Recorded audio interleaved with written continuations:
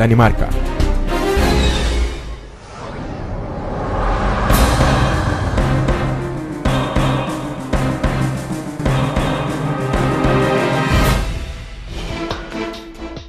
Danimarka'nın en yüksek tirajlı gazetesi olan Politiken, 13 Eylül 2007 tarihinde anti-Darwinist bombardıman başlıklı bir haber yayınladı. Yaklaşık yarım milyon okuyucusu olan gazetede yaratılış atlası ile ilgili haber şu satırlarla yer aldı. Evrim teorisine karşı gerçekleştirilen uluslararası kampanya Danimarka'yı vurdu. Darwin'in birçok şey gibi Nazizm ve terörizmden de sorumlu tutulduğu kitap 6,5 kilogram ağırlığında ve 765 sayfa.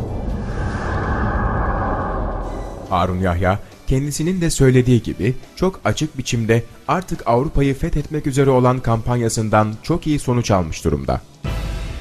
Darwin'in teorileri sonunda kesin bir yenilgiyle yüz yüze.